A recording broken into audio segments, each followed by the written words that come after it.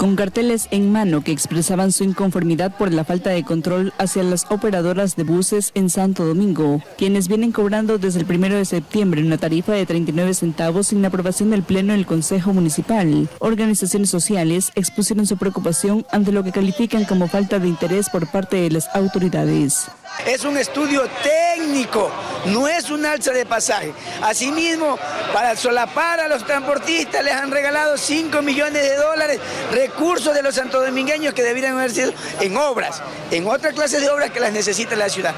Todo esto conlleva a que vamos a seguir en pie de lucha. Continuarán con protestas como esta para exigir que en la próxima sesión de consejo sea tratado este punto en el Pleno y que exista una solución a esta problemática. Por eso nosotros vamos a insistir igual con estas acciones que la gente se empodere de este tema, porque no puede solamente luchar la concejal desde el Consejo Municipal Liliana Silva y afuera la gente que esté inconforme también debe hacer algo. Por eso es que vamos a socializar todos estos días. Los, los señores transportistas ejercen su derecho en cobrar y las autoridades deberían hacer lo mismo, ejercer sus competencias dentro, eh, ejecutando los controles que corresponden dentro del marco legal.